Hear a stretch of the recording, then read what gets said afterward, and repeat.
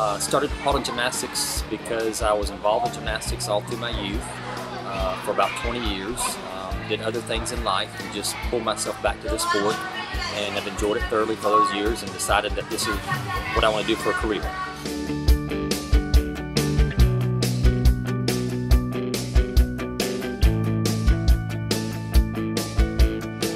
At Paulding, we offer classes from toddler time, which is our two-year-olds coming in with their parents.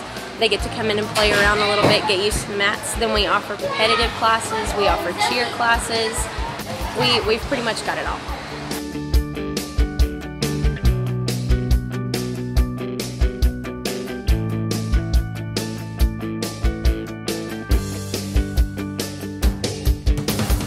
It really teaches you perseverance